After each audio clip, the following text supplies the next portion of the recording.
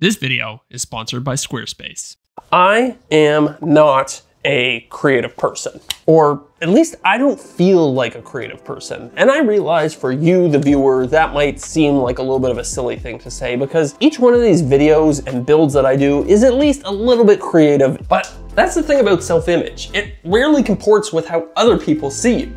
I think of myself more as a nuts and bolts type of guy. I grew up with a father and a grandfather who were both working and dare I say successful artists. I spent a lot of my formative years hanging out in art galleries, art studios, and just that whole scene in general. But for whatever reason, I ended up thinking of myself as more of a technical and pragmatic type of person. Maybe that was just my own form of teenage rebellion, but I think a lot of people end up making similar conclusions about themselves. I ended up going to business school and studying economics, and over the years, I just kind of developed this worldview that there were two types of people in the world. There were creatives, and then there were us normal folk. Neither one is better than the other, but us normies just lack a certain creative spark within us that condemns us to a life of cubicles, gray suits, and watermarked business cards. Look at that subtle off-white coloring.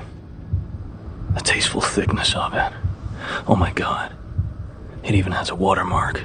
But maybe I was wrong. Maybe I do actually have a creative spark and I've just been neglecting it because I was telling myself a false narrative about who I really was. So today we're gonna do a little experiment. Today I am going to follow in the steps of my dad and my grandfather and I'm going to try to make a piece that was inspired by some of the work that my grandfather was doing in the early 2000s. But, you know, with my own little twist on it.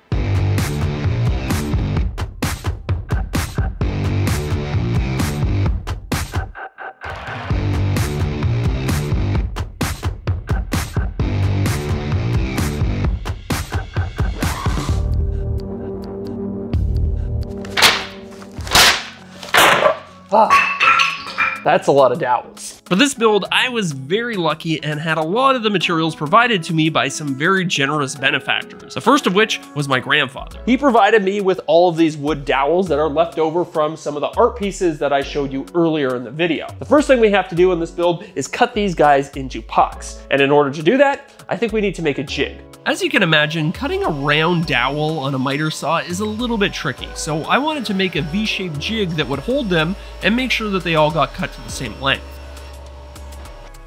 Quick little tip here, sometimes it's really handy to mix CA glue and wood glue at the same time. The CA glue sets quickly and holds everything in place, while the wood glue cures for a much stronger bond. Next, I cut out a slot that was exactly one and a quarter inches from the end of the jig. This marks the thickness and the length of the individual pucks that I wanted to make. This part of the build was very nuts and boltsy, so I was well within my comfort zone.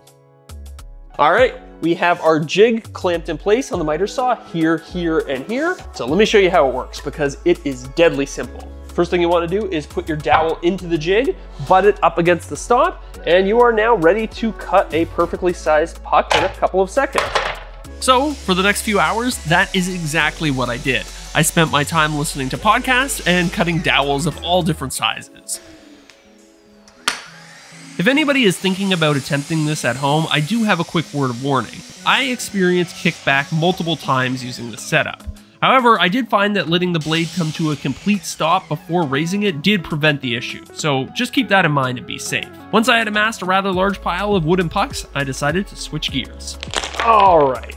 I think that's more than enough little wood pucks to at least get us started. I think this is a great opportunity to introduce another one of the very generous benefactors that's helping me out on this build. This is a mold from Maker Reusable Molds. So what this thing is, well, it's it's kind of in the name. It's a reusable form for epoxy casting. This is made from HDPE, which stands for high density polyethylene, which is a type of plastic that epoxy doesn't stick to. You see, in the past, when I've worked with epoxy, I've made my forms out of this stuff, which is melamine. I cut it up into pieces and then use it to build a form. But the problem is, at the end of the job, you basically just have to throw this stuff away. And I also want to make this table circular. So the fact that this is already a circle is gonna save me a lot of time. So yeah, big thank you to Maker Reusable Molds for loaning me this for the duration of this build. And if you're thinking about working with epoxy, check them out and tell them Zac sent you. At this point, I think our next major step is figuring out our pattern.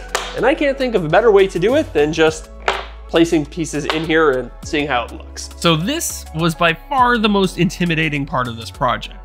It was just me, the normal, uncreative guy, and a blank canvas. But I did have a little bit of inspiration. I wanted this table to look like the Milky Way galaxy. Don't ask me why, I don't have a good reason, but that's what I was shooting for. I didn't really know where to start, so I basically just trialed and errored my way through it, all while trying to create something that looked visually appealing. While Shopsack continues to work his way through that pattern and uh, his own issues around creativity, I would like to talk to you guys about my latest creative endeavor, and also the sponsor of today's video, Squarespace. If you need a simple and streamlined way to get a professional looking website up and running in 2022, Squarespace has you covered. You may have noticed that I am wearing this very stylish t-shirt from fellow YouTuber Eric Spenceley, and that is because we have joined forces to start the Off the Cut podcast. And here's the thing about having a podcast. You need to have a website where people can find it and download it. And for that, we turn to Squarespace. Despite being a self-proclaimed nuts and bolts guy, I am not very good at coding. But their website creation tool was so easy to use that I had a functional website up and running in an afternoon. And they even had pre-made templates specifically for podcasts. From there, it was just editing text, moving elements around on the page, and inserting our own assets. They even handled registering the domain for us. So if you're looking to start a website for your business, passion project, or just next creative endeavor, I can highly recommend Squarespace. Check out Squarespace squarespace.com for a free trial. And when you're ready to launch, check out squarespace.com slash zacbuilds to save 10% off your first purchase of a website or a domain. All right, let's get back to the shop and see how I'm doing with this pattern. A couple hours later, I stood back and you know what? I was actually pretty happy with the pattern that I had created. Though I was feeling pretty drained, so I cut the camera and took a break for the night. All right, so it's the next day now, and the number one thing I wanna do today is get all of these little pieces secured together. It's gonna be a little bit tricky and it's gonna be a lot time consuming, but I think I have a pretty good method worked out. In the past, when I worked on similar pieces with my grandfather, he would paint on wood glue at the contact point between two different pieces. This worked really well and created a really secure connection, but it also took a long time because you're waiting like 20 minutes for each individual piece to dry. So what I did was use CA glue. I still had to glue each individual piece together, but it dried in seconds as opposed to minutes. I created little tack welds wherever two pieces met. These weren't the strongest joints in the world, but I didn't need them to last forever. They just had to hold until I could cast the whole pattern in epoxy. After that, the epoxy would hold everything together. So I think we're ready to start moving on to prepping for the pour. And I wanna show you a cool feature of this mold because this exterior wall here just pops right out so that you can inject a little bit of silicone to make it watertight, or in this case, epoxy tight. Here's the thing. Most epoxy molds are single piece jobs with tapered walls. The tapered walls make them easier to demold, but the downside is that your final casting will also have tapered walls. This multi-piece design, on the other hand, allows you to have the best of both worlds. You get nice straight edges and a very easy demolding process. In order to keep my wooden galaxy from floating away into the emptiness of space, I clamped it down inside the form. And in order to make sure my spacer pucks didn't get stuck in the epoxy, I wrapped them in red tuck tape.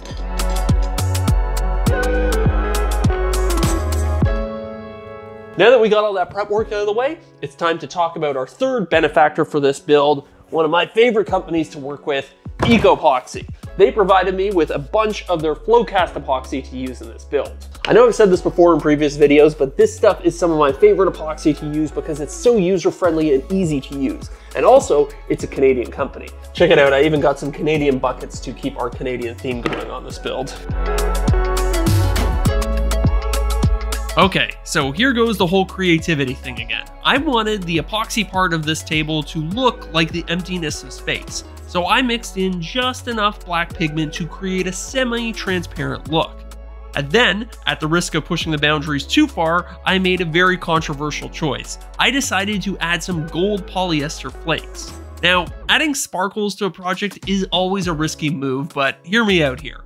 I didn't want my space to look completely empty. So my hope was that the sparkles would look like small stars and other celestial bodies. Whether or not it works out that way remains to be seen, but for now, let's just enjoy this pour. Are you guys ready for this? Because this is the most excited I have been to do an epoxy pour in a while. Here we go, wish me luck.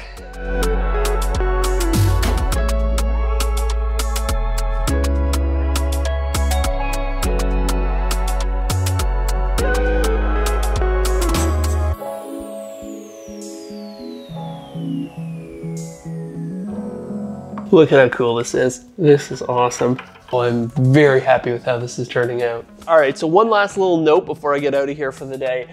The middle was raising up a little bit, so I just weighted that down in the middle with a couple of pucks and a paint can. I think that's all we can do for now, so I will come back in 72 hours once this is cured, and we'll keep going.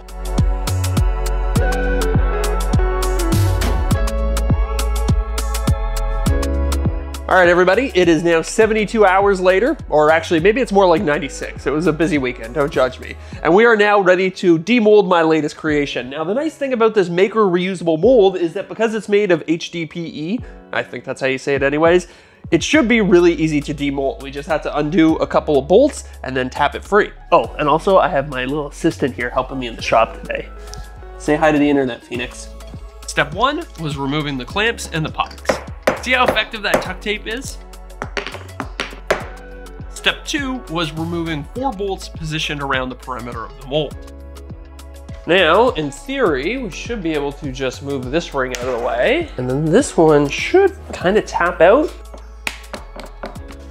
Oh yeah. And then you just pull it off. Oh, this is fantastic. Wow, that was easy. And look at just how smooth this edge is. I am very impressed with this product so far. Okay, now I have to separate the main portion of the table from the mold. Okay, no, that's not gonna work. Yeah, that's working much better. Oh yeah, there we go. Ooh, staticky. Look at this. So one thing that I was worried about was that this epoxy was a little too dark. I worried that I added too much pigment, but this is pretty much perfect. You can just barely see through it, kind of like the emptiness of space. Obviously on this side, there's a lot of sparkles because the sparkles tend to sink down to the bottom. But that's not a problem because the next thing that we have to do is run this thing through the drum sander in order to flatten it out and clean up the surface and get it ready for finish. At this point, I felt pretty good. I was basically out of the creative woods and I was back to operating in my comfortable nuts and bolts space.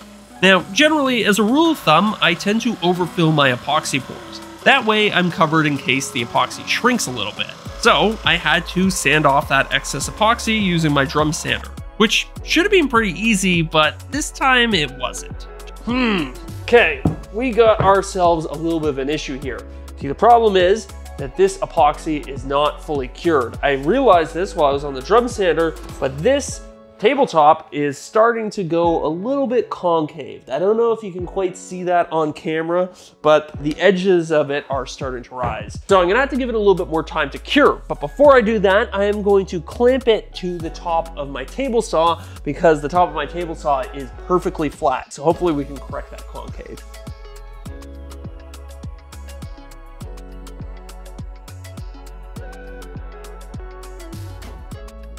24 hours later, and this thing is looking a lot flatter. Oh yeah, that's way better. And I can already feel it. It actually just feels more dense right now. All right, back to the drum sander. At this point, I think everybody is sick of drum sander footage, so let's just say I did a couple more quick passes to even things out, and then I was ready to move on. The next thing that I did was add a slight chamfer to the underside of the table, and when you look at that, I finally got myself a dust collection boot for my router. I'm not gonna lie, it was pretty awkward trying to keep the router perfectly vertical with that hose dragging behind it, but not having to clean up a whole tundra's worth of epoxy shavings made the whole thing worth it. After that, it was unfortunately time to do a little bit more sanding. And by a little bit, I mean a lot of it. I started with 80 grit sandpaper and slowly but surely worked my way up to 320.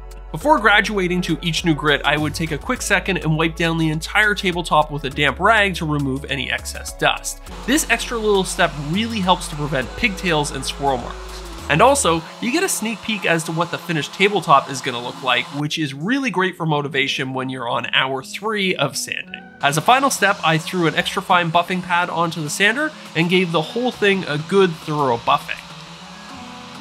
I gotta say, this is looking really, really nice now.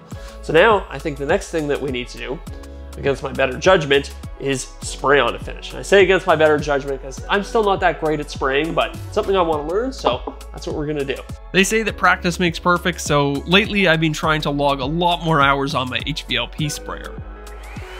While I do feel like I got decent results on this table, I am starting to question whether or not a poly product was the right choice here.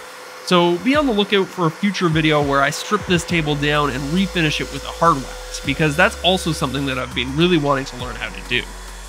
All right, so check this out. Last night I left this guy to dry, and overnight I received this, which is the last piece of the puzzle of this project. Inside this box, we have the legs for this table, and they're from another Canadian small business called Mayo or is it Mio? Oh no, I've completely forgotten how to say it. I only know how to read it on the screen because I've just been corresponding by email. It's M-Y-O. And either way, let me show you these legs because they're really cool and really well thought out. So first things first, the coolest feature about these legs, I mean, other than the fact that they are completely handmade here in Canada, is the fact that they're made out of aluminum. So they're really lightweight and you don't have to worry about corrosion nearly as much as you would with a steel leg. So you could even use these in an outdoor setting. The other really cool thing about these legs is that they were custom designed specifically for this table. Yeah, that's right. The owner Max really went above and beyond for me on this one. He took one of his existing designs for a full-size set of table legs and miniaturized them down for use on my coffee table. I know that custom metalworking isn't for everybody, so if you're looking for a set of table legs for your next build, I can highly suggest Mio. They've got really nice, clean, contemporary designs, the build quality is top notch, and the team is super nice too. With the legs assembled, it was time to mount them to the table. I used a center hole punch to mark the location of each bolt hole, drilled some holes, and then installed some threaded inserts into them. And yes, I am using a washer to screw those inserts in. Pro tip, get the threaded inserts with the hex heads, not the slotted heads the way I did. At that point, there was nothing left to do except to flip the table over and see how it looked with its brand new set of legs. Oh, look at this. Let's just flip this guy over. It does weigh quite a bit. Oh, yeah. That looks so good. Okay, now for the real question. How does it look in the living room at home? Let's go find out.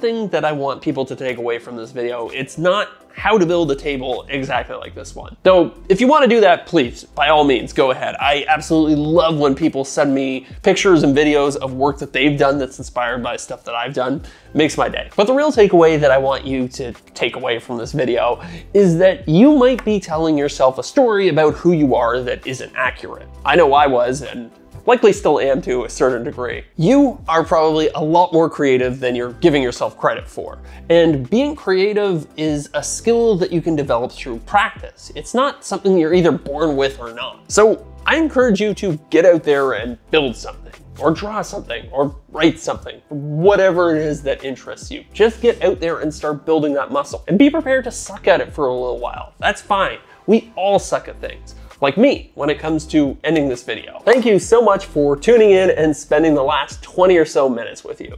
Big thank you to all my very generous benefactors who provided me with products to use in this video. I will include links to all of them in the video description so you guys can thank them out.